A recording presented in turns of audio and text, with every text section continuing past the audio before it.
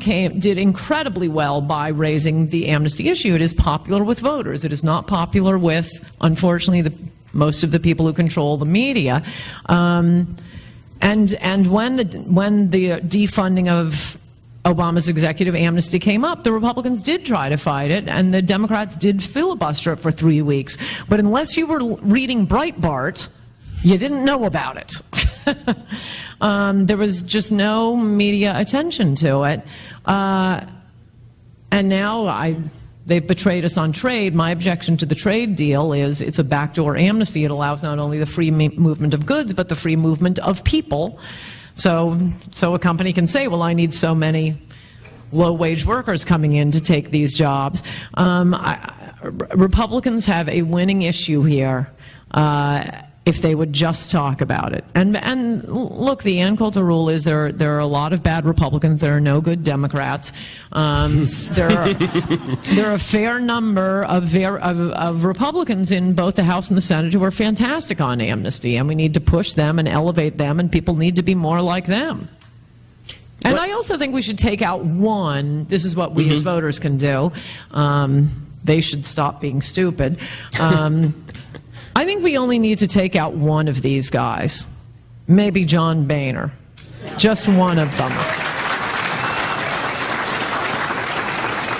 And Again, as you know, if you assiduously follow my work, I harangued all of you to vote for the Republican, don't go for the Tea Party candidate because really bad things happen when Democrats control the Congress. But um, I mean, that's why the Brat thing was fantastic, and and a lot of these Tea Party candidates I'm not even sure I believe half of them, but they're not that good. They haven't run for anything before. We need to find a place where there is a good candidate to challenge a bad Republican.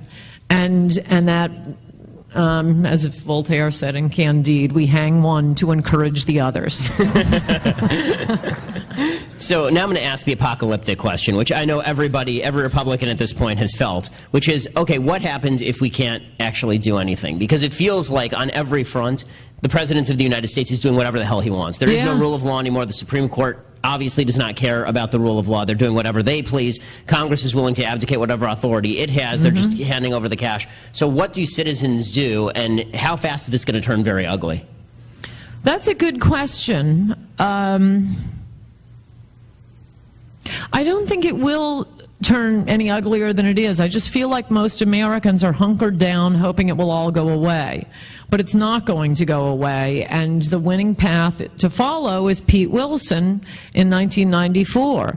Uh, and and look, it's, it's Americans who have shut down three amnesties in the last decade. It wasn't because, you know, some major uh, network or newspaper was alerting you to it. The American people would somehow, by hook or crook, find out, oh my gosh, they're doing it again. They're trying to pass an amnesty, and they uh, three times now shut down the congressional switchboard. Well, you, you may have to shut down your newspaper switchboards or your, your TV network switchboards and make it clear this is what we want to hear about because this is all that matters in so many ways. And even to the Democrats, I'd say, I mean, I'm assuming this is a Republican audience. That's why I talk about how it is just it's the end of the Republican Party nationally. We might have a few seats in Montana, Idaho. Are they moving any of the unaccompanied ch- children there? But, but I mean, the whole country will be California uh, without the beautiful beaches, attractive people. You'll all be the Kardashians. It'll be awful. Um, but you, there, this is the, even if you are a Democrat, this is going to change our country in such a fundamental way. We will be like Brazil, and I think it'll just happen slowly, and you'll wake up one day, and, uh, you know, after election after election, that's we will have, we won't even be as good as Mexico because Mexico has the advantage of living next to the most wealthy country in the world. No, we will be Brazil with a very, very wealthy 10, 20 percent and a very, very poor uh, 80 or 90 percent. It's, it's, it's heartbreaking. It's not only the freest country that's ever existed, but what, what always set America apart, and California, I would say particularly, was our enormous, prosperous middle class. Enormous. I always think that's why um, um, my theory of why the ugly American image developed in Europe, um, because most of the Europeans, most of the people you meet from from foreign countries will, you know, fly across an ocean to come to America. We only meet their elites. No, not not Americans. Everybody used to travel to Europe. Not now. We're all worried about paying rent holding on to your job, paying for for all of those, you know, special English translators at the schools, paying to support your hospital from going bankrupt. I mean, this is just so crushing to the middle class. But it's good for Mark Zuckerberg. It's good for the rich. It's good for the rich farmers with all that cheap labor because they refuse to mechanize. So here we are in California, which is, as you mentioned, sort of the bottom of the hill. Um, what exactly are Californians supposed to do? And I get this question a lot because we just, for the first time, passed. We, we are now a, a plurality Hispanic state, uh, and we are we are now minority white state, which means that I suppose that pretty soon I, my kids can can apply for affirmative action, which is exciting right. for the first time. I don't think it's um, going to work that way. Yeah, that's, that's unfortunate. it worked for it worked for Jews for like this long, and then it was gone. But um, so, what, aside from using our lives to serve as a warning for others, what exactly right, should right. Californians do at this point? That's a good question. wow. Huh.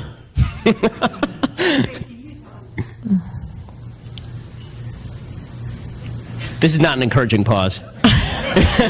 I'm thinking. Yeah, I think it's you're just a warning for others. I don't see anything else that can be done. Well, I mean, I suppose. I mean, obviously, alert the alert the rest of us where it's still time in the rest of the states. But also, I wonder I mean, my prescriptions for the country um, triple layer fence. I want it to be as difficult to get into the United States as it used to be to get out of East Germany. I'm so sick of hearing fences don't work. it's like shoelaces, they just don't work. What? what are you talking about? Of course they were. Yeah. Oh, they cannot come untied. I know the human spirit. Uh, um, my long term plan, which um, would be fantastic for Israel, is to move them to the northern por- portion of Mexico. Um, I have a chapter, Why Can't We Have Israel's Policy on Immigration?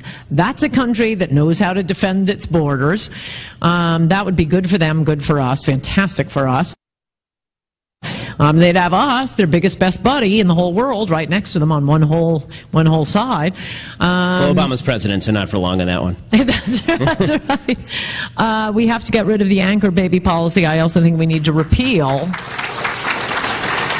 I want it.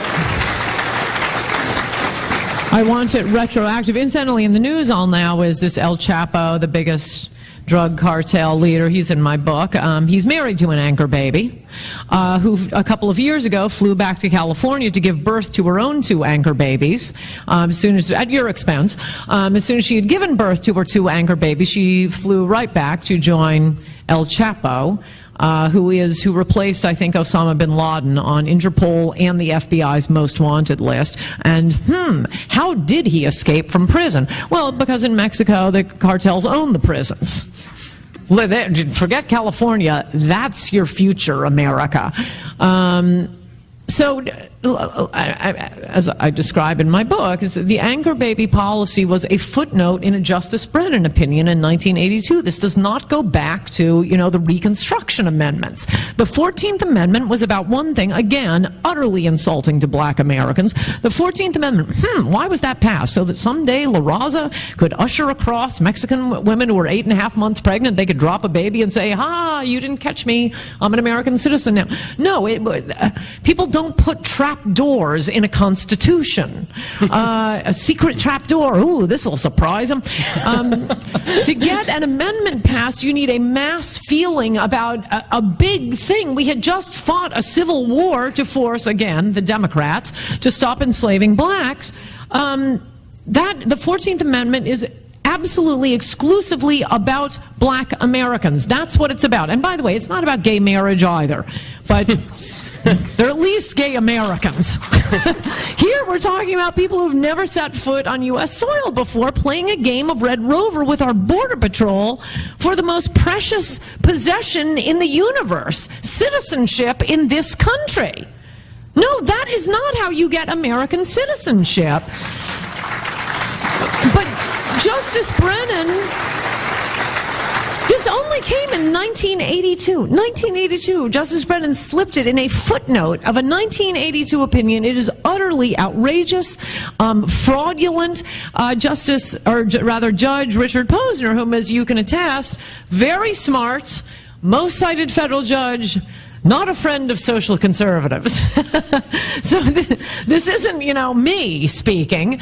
Um, a few years ago, I quote him in the book, he concurred in an, in an immigration opinion for the sole purpose of adding a concurrence that, that said, Congress, would you end this anchor baby policy? It's not in the Constitution. Pass a law tomorrow and end it. It's not only got to be ended, but, and this would save California, I want it retroactive. Mm.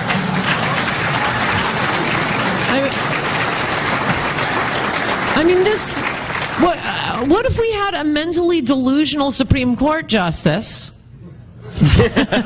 Not that hard to imagine. who says, you know, all of America or all of the world is a citizen of America. Are, are we all going to honor that? Because that's what's happened with the anchor baby policy. Um, Just make sure Kennedy takes his drugs this morning. yes. yes, what if we had A? I guess that was. Um, so, anchor baby policy, the wall, um, oh yeah, no, the, the, moratorium. We need a complete immigration moratorium. So this isn't just about this isn't just about Latin America. It isn't just about Mexico. I don't want European immigrants coming. I don't want anybody coming. No marriage. No no refugees. No asylees. Just shut it down for ten years, and you'll see. I explain it toward the end of my book. My original idea was let's go back to pre 1970 rules and try it again. As I say, people who are better than us, that rather than people who are worse than us. But that won't work because we have all these nonprofits. We have hundreds of, you know, ACLU migrant rights groups and George Soros Open Society Institute and La Raza, founded by the Ford Foundation, incidentally, not by Hispanics, um, like LULAC was. Um, we have hundreds of these groups. I do a paragraph that goes on for a full page of just some of them. And those are all the ones who become the immigration judges. Those are all the ones who work at the INS until they are all out of business and vacationing in, you know, Cuba and fighting with the, the Tupac uh, um, Amaru in, in Peru. Until they are gone, America can't be safe. So we need to just shut down immigration altogether for a decade, dust off the books, assimilate the ones already here, and then we can start it up again totally cheap. I could do it all before breakfast. just send me the photos. I'd be right 99% of the time. I'd be better than what we're getting now 100% of the time. Ann Coulter, 11 time New York Times bestselling author, thank you so much. Thank you. Thank you. What do we do, leave?